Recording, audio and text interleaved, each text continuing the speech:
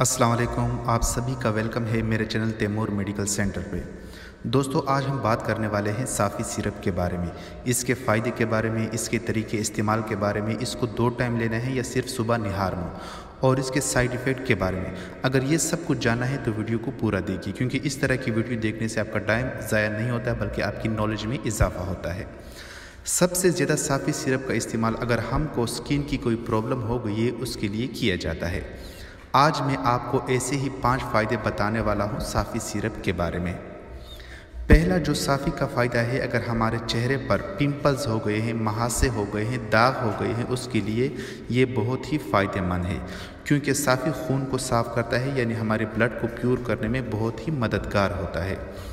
इसके अलावा, अगर हमारी स्किन ज़्यादा ऑयली है, यानी बहुत ऑयल है हमारी स्किन में इस ऑयल को भी कंट्रोल करता है। ये स्किन अगर किसी वजह से बहुत खुश्क हो गई है, बहुत रफ़ महसूस हो रहा है, या किसी तरह की इचिंग हो रही है हमारी बॉडी में, इसमें भी अगर साफ़ी सिरप का इस्तेमाल करते हैं तो आपके लिए बहुत ही फ़ायदेमंद है। जैसे कि हम सुनते आए हैं, अगर हमारी स्किन का कोई प्रॉब्लम हो गया है तो आप साफ़ी सिरप पी लीजिए। कुछ ही दिनों में आपके कील महासे दाग दबे इसके अलावा ड्राई हो गई हमारी स्किन और साथ ही साथ चेहरे पर अगर चमक चली गई है, साफ़ी इसमें भी यानी आपके लिए बहुत ही फ़ायदेमंद है।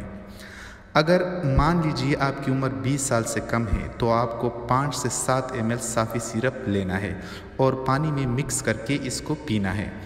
इनिशियली जब आप स्टार्ट करेंगे तो आपको दिन में एक ही बार इसका इस्तेमाल करना है। अगर आपको सूटेबल है मतलब आप इसका इस्तेमाल सुबह और शाम दोनों टाइम भी कर सकते हैं। दोस्तों, साफ़ी का टेस्ट थोड़ा कड़वा होता है क्योंकि ये नीम से बनाई जाती है। साफ़ी का जो दूसरा फ़ायदा है, वो ये है कि ये हमारी वेट को कम करने में बहुत ही हेल्प करता है। दोस्तों, वेट का बढ़ना या वेट का कम होना इसकी वजह होती है कि हमारे बॉडी में कुछ ऐसा चल रहा होता है जो नहीं होना चाहिए। तो अगर हम ऐसे में साफ़ी सिरप का इस्तेमाल करते हैं तो साफ़ी हमारे लिए बहुत ही मददगार होती है, क्योंकि साफ़ी के इस्तेमाल से हमारे मेटाबॉलिज्म ठीक होता है, हमारा डाइजेस्टिव सिस्टम ठीक होता है, खाना सही तरीके से हज़म होता है। तीसरा जो फ़ायदा है साफ़ी सिरप का, ये हमारे खून को साफ़ करता है, यानी हमारे ब्लड को प्योर करने में मदद देता है। दोस्तों, अगर हमारा खून साफ़ है, उसमें कोई प्रॉब्लम नहीं है तो हमारे जिसम को काम करने में, हमारे ब्रेन को काम करने में बहुत एनर्जी मिलती है। इस तरह ब्लड का साफ़ होना हमारे लिए बहुत ही ज़रूरी है। हमारे लिए बहुत ही फ़ायदेमंद होती है साफ़ी खून को साफ़ करने में। चौथा जो फ़ायदा है साफ़ी सिरप का, वो ये है कि ये हमारे हेयर्स को, यानी हमारे बालों को बहुत चमकदार बना सकता है। बालों का जड़ना रोक सकता है, डेंड्रफ ख़त्म कर सकती है। बालों में अगर बहुत खुश्की आ गई है, बहुत सूखे सूखे उड़े से बाल लगते हैं, ऐसे में बहुत मददगार साबित होता है साफ़ी सिरप। बालों की लंबाई बढ़ाने में काफ़ी मददगार होती है साफ़ी सिरप। साफ़ी का जो पांचवा फ़ायदा है, ये हमारे भूख को बढ़ाने में मददगार होता है। हम जानते हैं कि साफ़ी हमारे जिसम को ओवरऑल डिटॉक्स करता है, यानी हमारे जिसम की सफ़ाई करने में बहुत ही मददगार होता है।